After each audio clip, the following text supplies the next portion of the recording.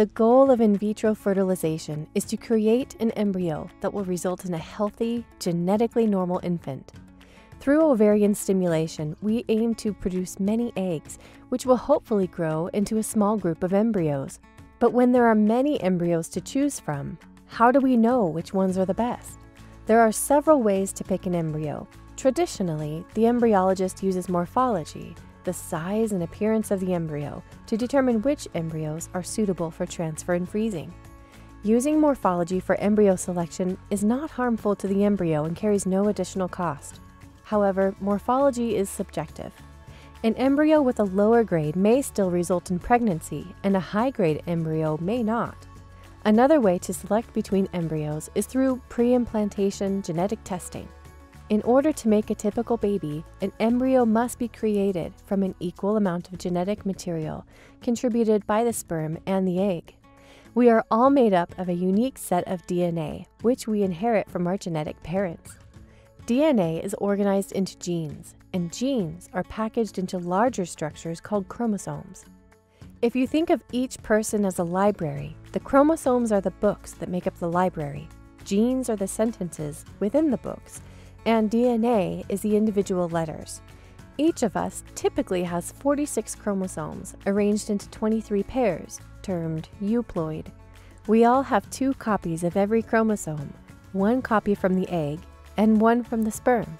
The first 22 pairs of chromosomes are numbered 1 through 22 based on size. The 23rd pair are sex chromosomes, XX for female or XY for male.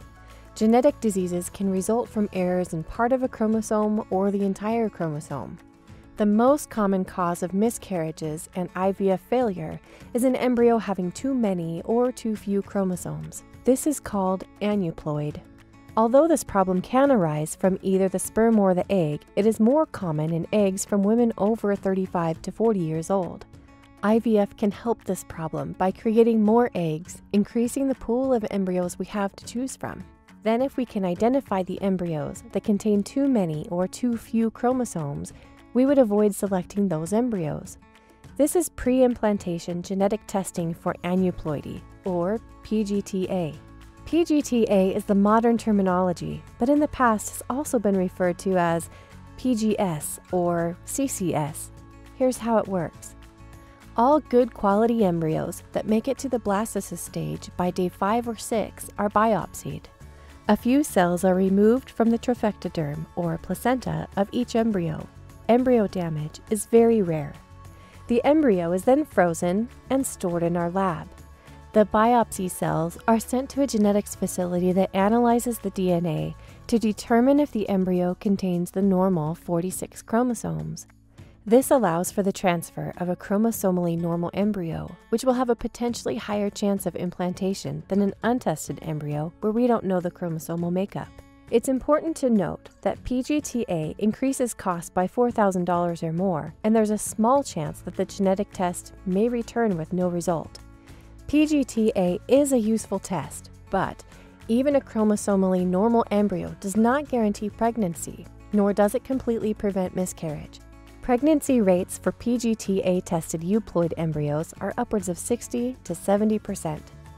You will need to undergo a frozen embryo transfer cycle to transfer the normal embryo into the uterus. PGTA is most beneficial for women who are over 37 to 38 years old and have multiple embryos. Once pregnant, prenatal genetic screening is still recommended because although it's very accurate, there is a chance that PGTA can be incorrect.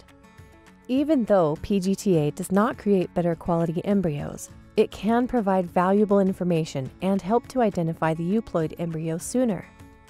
At PCRM, we perform a high number of PGTA cycles, and our genetic counselors would be happy to meet with you and answer your questions.